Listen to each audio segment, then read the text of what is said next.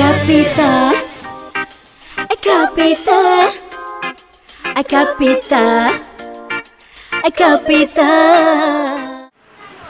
Assalamualaikum warahmatullahi wabarakatuh.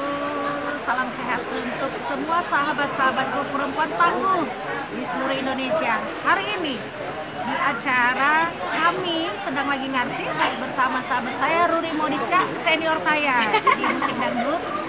Bukan hanya penyanyi tapi pencipta lagu. Saya ingin mengupas habis tentang seorang penyanyi menjadi seorang entrepreneur baru tapi sukses. Dan saya sangat salut, salut melihat perempuan-perempuan Indonesia yang beralih bangkit untuk uh, mempertahankan ekonomi keluarga seperti sahabat saya ini yang cantik dengan bisnis tasnya yang tadinya hanya berapa tas sekarang udah satu rumah. Dan itu menjadi inspirasi buat kita. Ayo kita dengarkan yuk celotehannya curahannya. Yuk ayo mbak Tambah Assalamualaikum Mbak Nana, apa kabar? baik. Aku seneng banget nih. Ini memang artis banget lihat topinya. Topinya aja udah artis. Tapi Kak. iya tapi mentalnya itu sekarang jadi entrepreneur. Ayo cerita sedikit dong. Ya Mbak Nana, Banyak sebenarnya gini, aku kan memang dari dulu eh, selain penyanyi aku di radio, oh iya. Udah biasa di belakang layar, Ya, oke. di TV, eh, siaran, Hmm. program show, ya.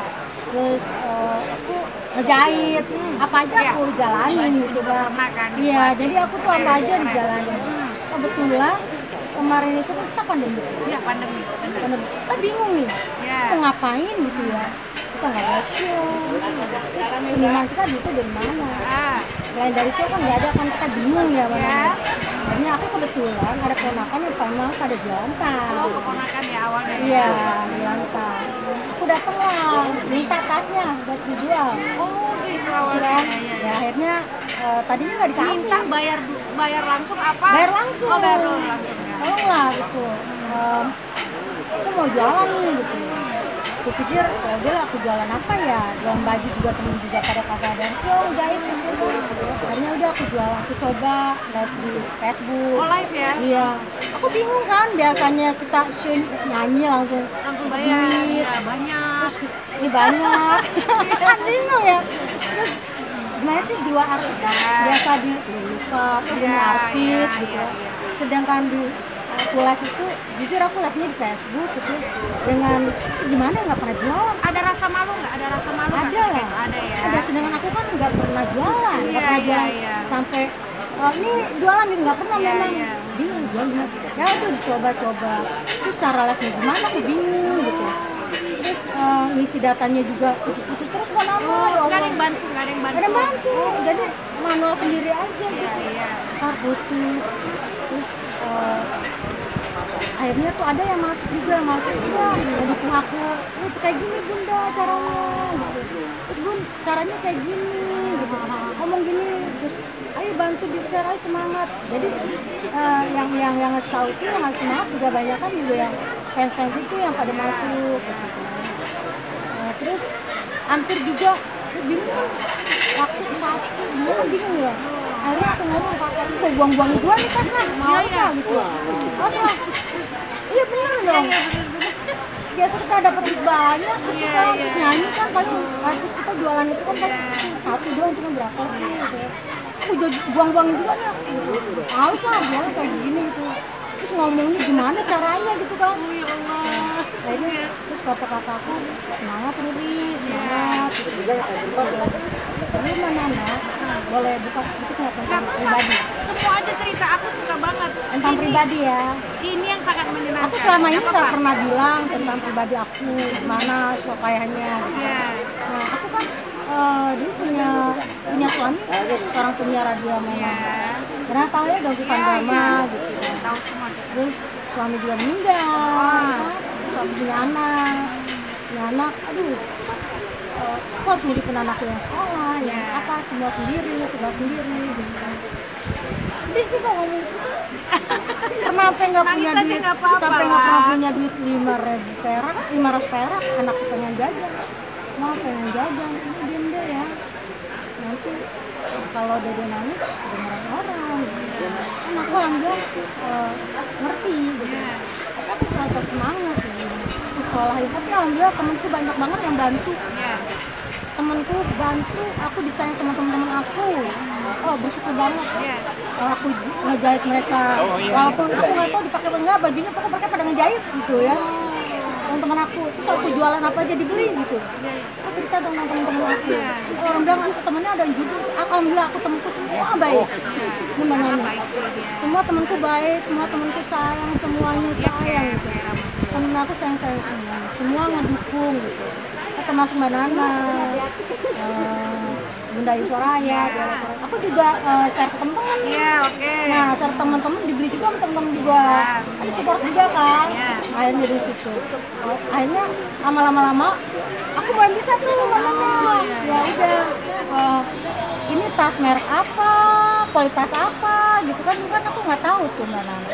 Akhirnya lama-lama aku eh, belajar belajar belajar terus tentang eh, oh tas ini kualitasnya ini Iya. brand brand tas ini kualitasnya seperti ini iya, iya. aku belajar terus tuh mbak Nana aku belajar terus alhamdulillah Kalau eh, dilihat ini hitam sekarang semua tuh jadi ya, ada karyawan juga masih kurang sebenarnya gitu. Alhamdulillah sekarang Sekarang sudah katanya satu rumah. ya? Aku jadi gini kalau aku eh, apa untung nih. Aku kan buat sendiri aja anakku anakku kan udah ngaku juga. Oh iya. udah jadi telegram juga kan jadi aku nggak Tapi nggak dangdut ya. nggak dangdut. Iya.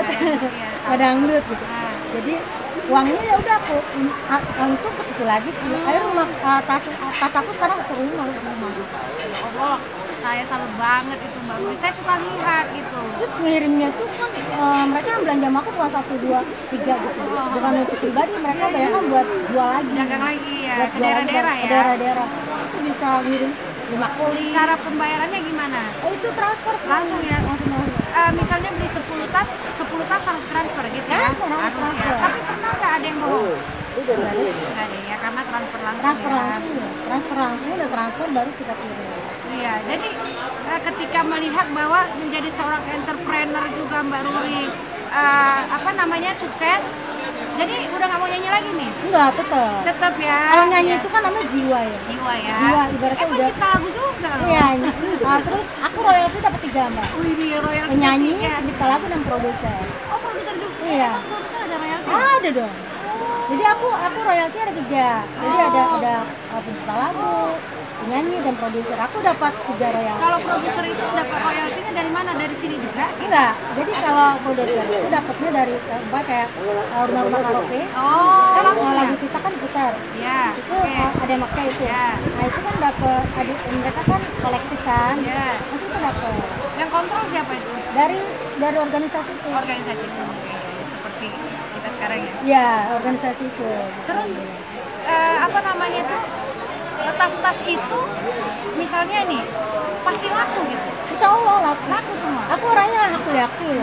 Terus saya lihat juga ada jual-jual topi kayak gini nih yang keren-keren aku gitu. juga jualan topi juga. Iya luar biasa. Kok saya banyak orang juga ini mbak. Tas-tas itu belinya di mana? Apa produksi sendiri? Dan ada juga kayaknya merek-merek yang udah udah kita tahu lah ya. Favorit banget. Nah yang lain-lainnya apa? Memang hanya memang udah memang tas-tas yang udah punya brand atau juga ada khusus dari eh, apa namanya ya eh, produksi dari daerah gitu Oh, iya. enggak ya? Aku sudah branded brand semua. ya? Brand iya iya ya? Dari impor lah gitu. Iya iya iya. Yang udah kebetulan sekarang eh, jadi eh, customer itu kebanyakan udah kelihatan nih arahnya ke mana ke branded gitu iya maunya iya iya pasti kan dari awal kan ya. aku kan hmm, apa namanya nyoba-nyoba ini Iya. ternyata arahannya yang ke branded gitu oh dia pengen seperti seperti tas-tas artis gitu ya iya aku tulisnya di situ di Facebook Iya. eh, tas artis tas artis murah murah ya iya gitu Wih keren banget kalau Iya. Mbak Ruri lagi dagang, saya langsung kepengen, aku pengen ya kayak Ruri Modiska gitu. Tapi kan nggak semua orang uh, sama rezekinya. Iya. Kadang-kadang kita coba belum tentu kita sukses, tapi boleh dicoba. Iya, Boleh semua harus- dicoba, harus dicoba. Boleh dicoba, nggak apa-apa. Gitu kan, karena rezekinya sudah diatur. Iya. Nah terus eh, apa namanya itu di rumah itu tempat tas-tas itu dibuat langsung atau digebrak aja begitu? Memang ada lemari-lemarinya? Sudah gini, aku, aku kasih contoh berapa? Oh gitu. Semuanya aku taruh gitu aja. Nanti oh. pas aku mau mau jualan, mau les gitu, aku jamret salah satu. Oh, Orang kalau gitu. aku jamret semua, bingung naruhnya di mana? Oh berarti sampelnya aja ya, iya, tes-tes ini ya? Sampelnya gitu ya. Kasih. Kacamata juga ya? Kadang ada. Oh, kadang-kadang ada.